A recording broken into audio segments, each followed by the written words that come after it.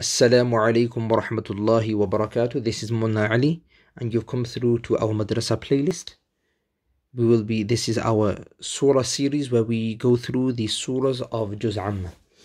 أعوذ بالله من الشيطان الرجيم بسم l-Rahmanir Rahim. تبت يداه أبي لهب وتب. ما أغنى عنه ماله وما كسب. سيصلى نارا ذات لهب وامرأته حمالة الحطب. في جيدها حبل من مسد.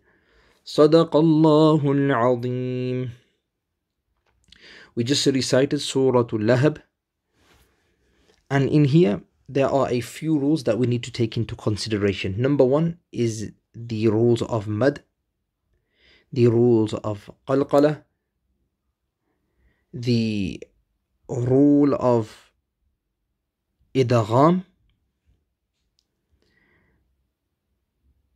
Yes, the rules of idgham and making sure we are pronouncing the letter ha correctly, the letter sad correctly, and also making sure we are pronouncing the ras correctly in terms of them being full or empty mouth. جزاك الله خير فسلام الله عليكم